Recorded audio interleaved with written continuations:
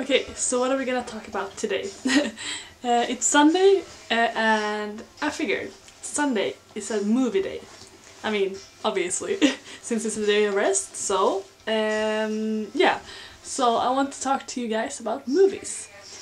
We're gonna find out as well what's your favorite movies, uh, and it's five today. We can name five movies. So, and obviously, I have the five movies that are my favorite movies of all time here. And I thought it'd be fun uh, if I explain you why my five favorite movies are my favorites. And if you can do the same, it will be a lot of fun. Okay, let's start.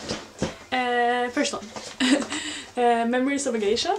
Uh, I just, I don't know, I just love that movie because it's like, to watch it, it's just beautiful, like it's like art, kind of like watching art because it's so beautiful, the locations and and the girls in the movie are really pretty to look at and the music and everything. So I love it because of the beauty and also it's like a really nice kind of like love story going on.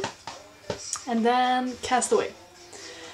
Because it's like uh, you get a different perspective I think of things because he I mean it's about I mean you find a different perspective on like what's important in life. And then again it's love that's important and not like material things and all of that. And yeah and I really like that movie. And also Tom Hanks is my favorite actor of all time. So as you will see because I have one more of him here in my five top five. Uh, and then it's uh, in Swedish Andra chans but in English it's like uh, it's funny because this movie in English is called The Family Man, but if I would translate it, it would be A Second Chance. I don't know why. Anyways, it's really good. Um, it's also about like making like the right decisions in life that's gonna make you happy and again it comes to like material things or love and family and all that and yeah, and it's also one of those movies that makes you like question things in your head and like think about what's important. So I really like movies that makes you think something. uh, and then Forrest Gump, of course, it's like the favorite favorite movie.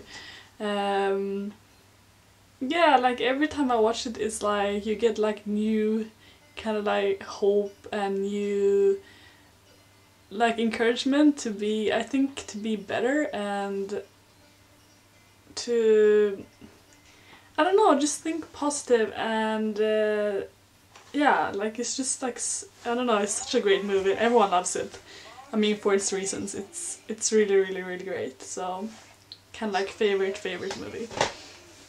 And then Amelie from Montmartre. uh, okay, yeah, this movie is just the most like the cutest and most kind of like romantic but like in a really quirky way movie ever. um, I just love, I mean the whole story, it's like so cute and arty and um, different and the music. It's like my favorite music. Yann Tiersen made the whole album for that, uh, or like the whole soundtrack, and he's like one of my favorite musicians of all time. So, and that puts the mood to it, I would say, the movie. Hmm, okay, yeah, then you know, you know my reviews on movies. So that's my fi five movies.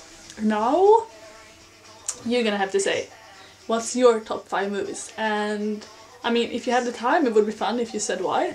But otherwise, just name your top five movies, and then me and everyone else can go rent rent those movies, so we can like share each other's good movies.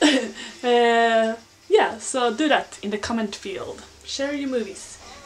And I wish you a very nice and lovely Sunday.